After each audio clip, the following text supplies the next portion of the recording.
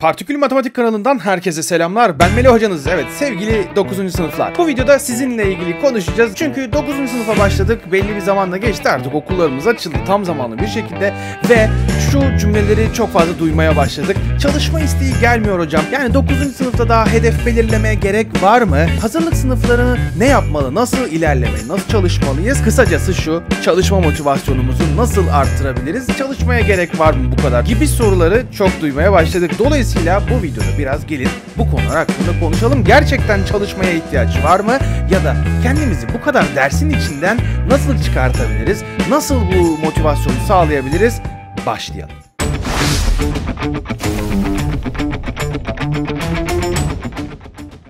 Şimdi öncelikle hazırlık sınıflarından başlamak istiyorum. Dil üzerine okuduğunuzun farkındasınızdır. Dolayısıyla sizden en çok beklenen şey bu sene boyunca o dili halletmek. İngilizce mi görüyorsun, Almanca mı görüyorsun ya da hangi dili görüyorsan gör. Bu arada hangi dil üzerine hazırlık sınıfını okuyorsanız yorumlarda da belirtmeyi unutmayın lütfen. O dili bu sene lütfen bitirmeye çalışın. Yani bitirmeye çalışın derken böyle profesyonelin profesyonel olmak zorunda değilsin ama ciddi bir şekilde de ilerlemek zorundasınız. İşte hazırlık sınıfıyız yata yata devam ederiz ederiz 9-10-11'de zaten çalışacağız gibi bir e, düşünceye sakın kapılmayın. Geleceğiniz için önemli bir adım atmışsınız. Hazırlık sınıfı okuyorsunuz. Dolayısıyla bunu maksimum düzeyde verimle geçirmeliyiz. Ne yapabilirsin? Mesela diziler izleyebilirsin. Çizgi film bile izleyebilirsin. Ama tabii yabancı dilde o okuduğun dil üzerine olmak kaydıyla kitaplar okuyabilirsin. E, bunları da tabii ki de hani hepsinde translate yapa yapa ilerlememenizi tavsiye ediyorum. Gerçi okullarınızda dil öğretmenleri gereken tüm detayları sizlere aktarmıştır. Benim tavsiyem şu özellikle dil öğrenmek isteyenler için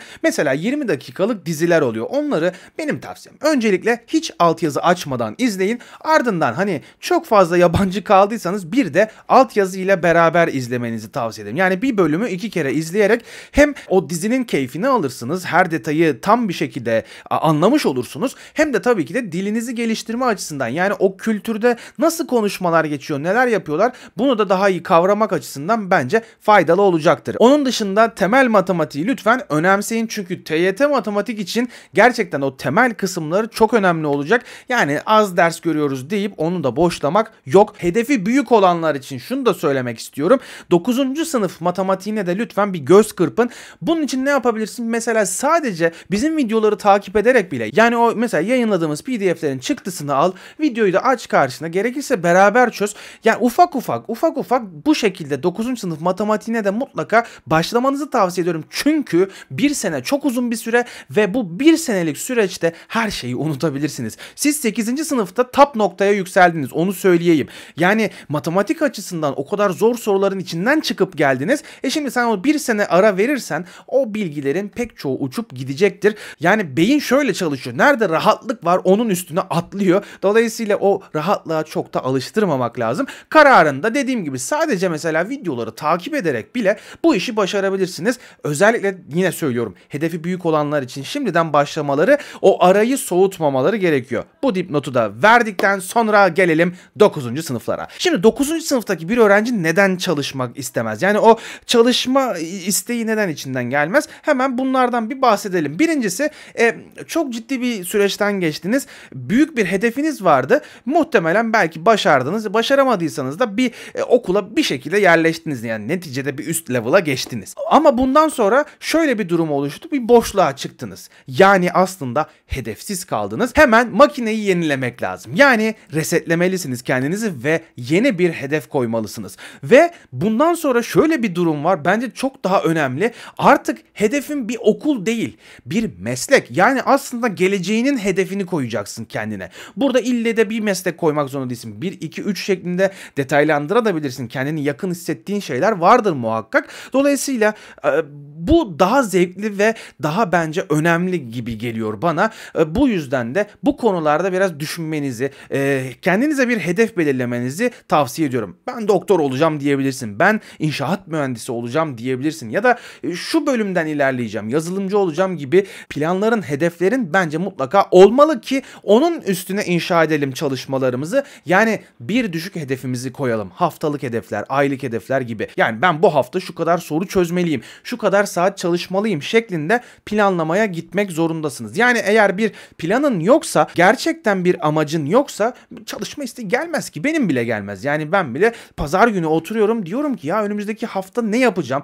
Tek tek hangi videoyu çekmeliyiz? Hangi çalışmaları yayınlamalıyız? Şeklinde bir düşünüp planlama yapıyoruz. Aylık planlarımız var. Yıllık bütünsel bir planımız var. Dolayısıyla bu planlar olmadan ben de oturduğum yerde yani rastgele random videolar yayınlayabilirim. Ama bu şekilde yaparsak da düzenli gitmemiş oluruz ve faydalı olmamış oluruz. Yani o fayda noktasına bir nebze düşüş olabilir. Dolayısıyla lütfen sizler de bunu ciddiye alın. Sosyal medya bir de çok önemli artık günümüzde.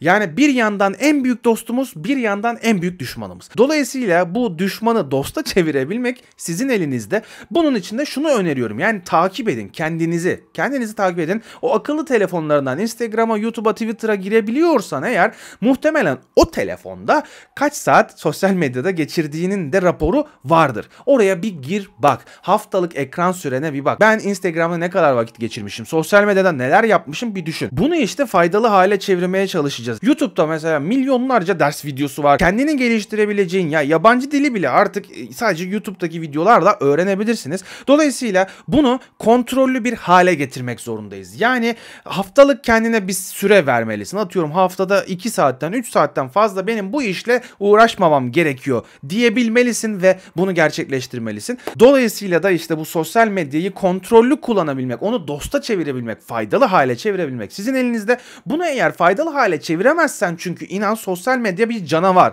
Size hemen yutmaya hazır. Çok fazla içerik, çok fazla vaktini çalabilecek ürün var. Dolayısıyla bunlardan kendimizi birazcık korumaya çalışmalıyız. Korumazsak dediğim gibi uçurum uçurumdan aşağı yuvarlanırız. Dolayısıyla ne yapmamız gerektiğini tekrar ediyorum. Birincisi hedefimizi koyacağız. İkincisi de kendimizde bu kontrolü sağlayacağız çalışma noktasında. Yani ben diyeceksin bugün ne yaptım? Ben hedefim için bugün ne yaptım? Ha doktor olacağım ben. İyi de öyle otura otura sadece doktor olacağım diyerek doktor olunmuyor. Dolayısıyla ben tıp istiyorum, mühendislik istiyorum ama bunun için bugün ne yaptım diye kendine mutlaka sormalısın. Her gün bu sorgulamayı yapmalısın. Ya en azından haftalık bu sorgulamayı yapmalısın. Yani bu hafta ne yaparak geçirdik ki? Faydalı ne yaptım? Kendimi geliştirmek için ne yaptım? Bu sorularla sık sık muhatap olmalısın. Peki hocam çalışma motivasyonumuz gelmiyor. Bunu nasıl arttırabiliriz? Hemen söyleyeyim. Birincisi tabii ki de bu tarz videoların senin için mutlaka önemli olduğunu düşünüyorum. Bu tarz videoları da ara ara yayınlamaya zaten devam edeceğiz. Çünkü bir insan genel söylüyorum her zaman full motivasyon devam edemez. Yani mümkün değil. Hiç kimse için mümkün değil. En başarılı olanlar için bile.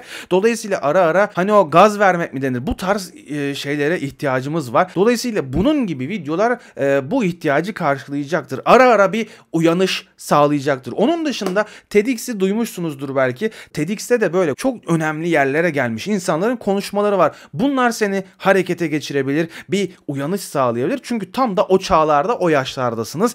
Geleceğinizi böyle belirleyeceğiniz zamanlardasınız. Onları sizi doğru yönlendireceğini düşünüyorum. Bir diğeri kişisel gelişim kitapları. Yani eskisi gibi eski kalitede değil belki ama bazı kişisel gelişim kitapları gerçekten sizleri etkileyebilir. Örneğin benim de hayatımda Outliners kitabı vardı. Hani çizginin dışındakiler kitabı. O kitapta edindiğim bazı bilgiler hala şu an aklımdadır mesela e, ciddi anlamda çalışma şevkimi arttırırdı. Mesela 10 bin saat kuralı hala aklımdadır. O kitabın içinde de geçiyordu.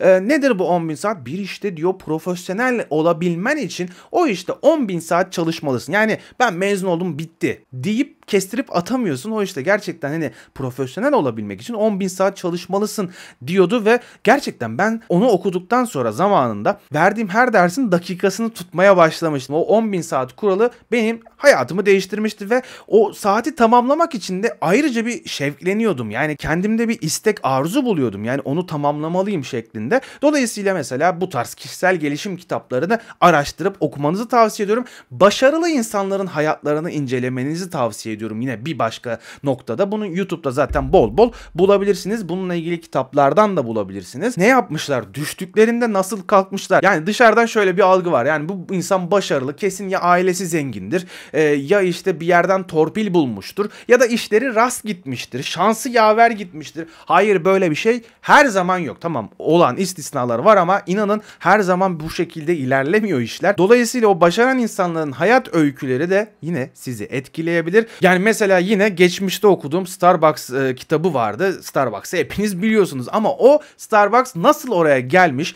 O onu kuran, onu oluşturan kişi kaç kere hayatında batmış, çıkmış, kaç yerden geri döndürülmüş, neler yaşamış bunları bence e, mesela o kitabı da okuyabilirsiniz tavsiye ederim. Öğrenmek, bilmek sizde dediğim gibi yine bir uyanışa sebep olabilir, bir hareketlenmeniz açısından faydalı olabilir diye tavsiyelerde bulunayım. Gerçekten hayatınıza yön verebilirler. Bu şekilde kitaplar okumanızı mesela Steve Jobs biliyorsunuz Apple'ın kurucusu. Bu tarz kişileri, bu tarz kitapları okumak sizlere yine fayda sağlayabilir. Motivasyonumuzu ayakta tutabilir. En azından 1-2 sene sonra bile o kitapta yazanlar işte benim az önce anlattığım gibi aklına gelebilip e, yine sende bir hareketlenmeye sebep olur. Çalışma isteğini arttırmakta bir neden olabilirler diyor ve bu videonun sonuna geliyorum. Umarım faydalı olmuştur. Eğer faydalı olduğunu düşünüyorsanız videoyu da tabii ki de beğenmeyi unutmayın. Bu tarz videolarımız, ders videolarımız özellikle yıl boyu devam edecek. Eğer değilseniz ve o videoları kaçırmak istemiyorsanız kanala abone olmayı da unutmayın. Bir sonraki videoda görüşünceye dek kendinize çok iyi bakın ve matematikle kalın. Hoşçakalın.